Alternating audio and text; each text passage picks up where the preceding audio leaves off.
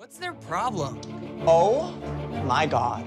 We're facing pirates now? Oh my god! You guys help me, please! I can't believe this. It worked. Back up! I swear to God, I'll cut her throat. Please no, don't, please don't, do please that. don't, don't don't. that. Don't, Just just let her back. do something, please. Okay, okay, Ace, we'll do anything. Please, just let her go. Are you working for Rorik?